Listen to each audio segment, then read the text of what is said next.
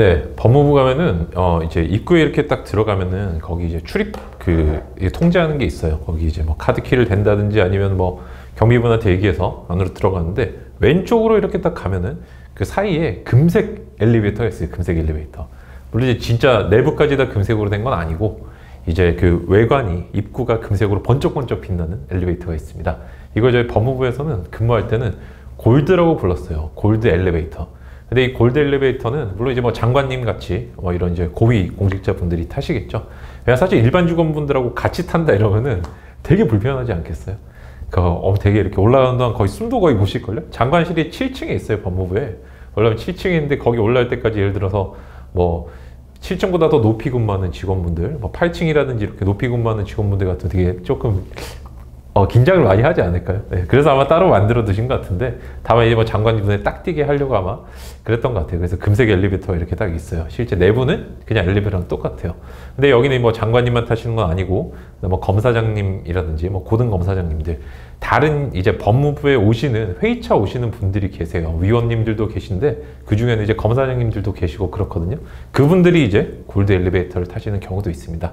근데 이거와 관련해서 재밌는 사항은 장관님이 새로 이렇게 부임하시면은 각 과에 이제 이렇게 뭐 종이 같은 게 이렇게 돌아요. 도는데 뭐라고 하냐면은 이렇게 장관님과 어떤 이 과에서 특별한 인연을 가진 어떤 뭐 어, 직원분이 있는지 그런 거 쓰라고 그러거든요. 그게 뭐 이제 뭐 어떤 이유인지는 잘 모르겠는데 이제 뭐 옛날 생각실로 그러실 수도 있고 잘은 모르겠지만 어쨌든 거기 재밌는 게 제가 근무하던 과에서 어떤 계장님께서 그 계장님께서 정식 명칭이 이제 계장은 아닌데 저희가 내부적 계장님이라고 부르거든요. 수사관님이신데 법무부에 파견 나오신 수사관님이 한 분이 그 골드 엘리베이터랑 관련해서 일화가 하나 있으신 거예요. 장관 그러니까 한 분이 A라는 계장님과 B라는 계장이 대화하는데 이러는 거예요. 어 선배 이러면 선배라 그래요.